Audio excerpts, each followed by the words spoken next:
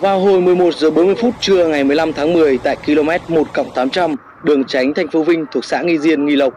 xe tải biển kiểm soát 89C18561 của công ty vận tải Minh Hiếu lưu thông hướng Vinh Hà Nội đã bất ngờ va chạm với xe khách 48B 00480 đi ngược chiều của nhà xe Thiên Trung. Cú va chạm khiến phụ xe tải tử vong kẹt trong cabin, lái xe tải bị thương nặng được đưa đi cấp cứu.